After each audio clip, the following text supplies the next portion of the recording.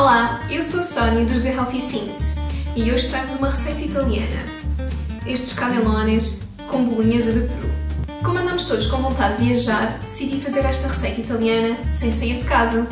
A receita parece um pouco complicada, mas vão ver que é muito simples. Vamos começar? Então vamos lá. Colocamos 350 gramas de bifes peru num robô de cozinha e trituramos até obter uma carne picada.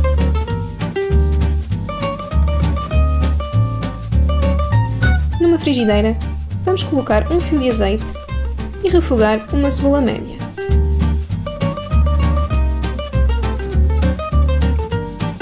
Adicionamos ainda 3 dentes de alho.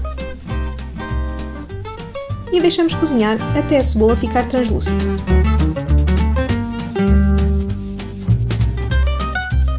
Juntamos a carne de peru picada e temperamos com sal e pimenta preta.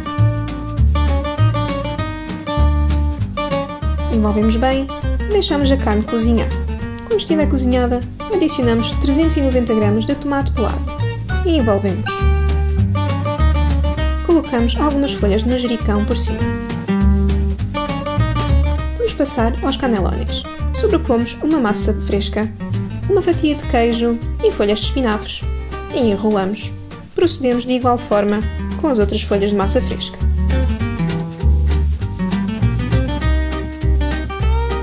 Num tabuleiro de ir ao forno, vamos untar com um pouco de azeite e sobrepor os canelones.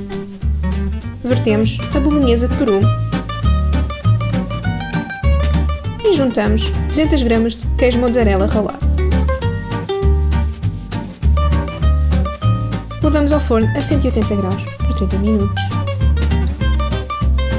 Agora a melhor parte: servir com um pouco mais de queijo ralado e folha de manjericão.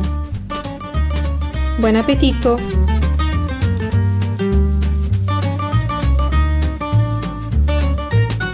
Se gostaram desta receita, não se esqueçam de subscrever o canal para não perderem próximas.